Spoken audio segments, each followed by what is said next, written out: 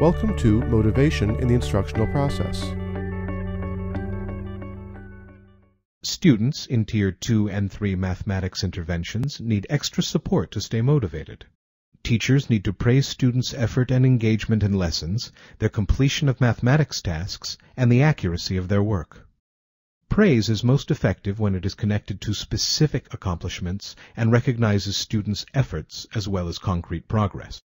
Some students can be motivated by charting their progress and then setting short-term goals or challenges for themselves.